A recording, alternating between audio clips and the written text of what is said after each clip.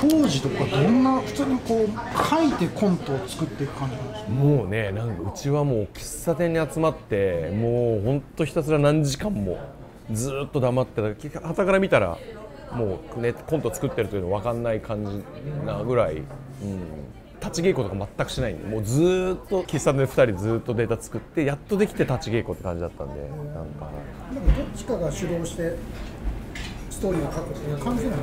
当時はね本当に最初の頃はお互い持ち込んでどっちのこれがいいかっていうのでだから時間かかったです僕ら。2人ともかけたのでどっちかしか書けないコンビって早くネタできるじゃないですか。僕ら2人ともかけたし絶対自分のネタやりたいんですよ。だからどういかに相手を言いくるめるかのネタ作り最初の頃は。